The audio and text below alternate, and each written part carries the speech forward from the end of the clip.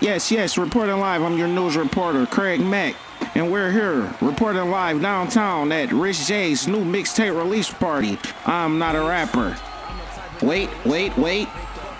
I think I think that's him pulling up now. Hey, hey, hey, Rich J, can we get a close up with you? Yeah, what's up? So, how's things going? It's going good. So first of all, we want to congratulate you on your success, and we see that you're coming with a new mixtape. Yeah, so yeah, yeah, yeah. for the haters and all the perpetrators and everybody that doubted you and all the people that got down on you, yeah, I heard the song by the way. What do you have to say to those people? First of all, fuck the niggas that got down on me. Fuck all the haters. I'm not a fucking rapper.